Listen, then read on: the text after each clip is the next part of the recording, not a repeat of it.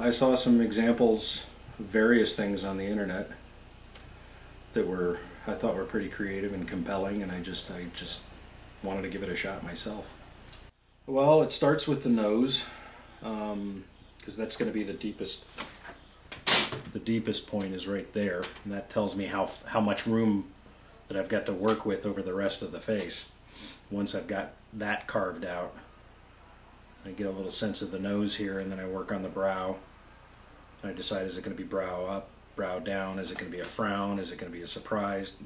You know, what kind of expression that I'm going to have on it.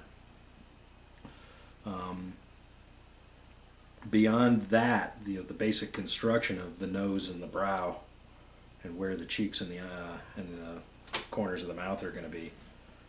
It's it's all about the eyes and the and the detail work in the teeth.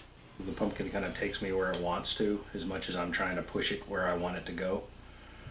And I, find that in any kind of design that I do, whether I'm painting or or carving or whatever, that I'm less interested in being precise than I used to be. I like the chaos.